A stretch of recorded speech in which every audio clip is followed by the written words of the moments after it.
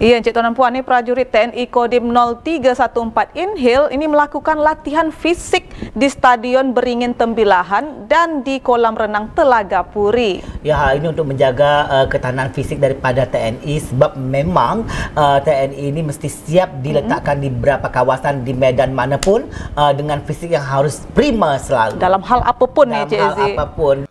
Kemampuan fisik yang dimiliki seorang prajurit TNI haruslah di atas orang biasa. Untuk menjaga kestabilan fisik di tubuh prajurit TNI, prajurit TNI Kodim 0314 Inhil melakukan tes kegiatan fisik dilakukan di Stadion Beringin Tembilahan yang diawali dari pengukuran tekanan darah dan denyut jantung serta cek kesehatan. Prajurit TNI dites latihan kekuatan dan ketahanan berlari pada lintas 400 meter.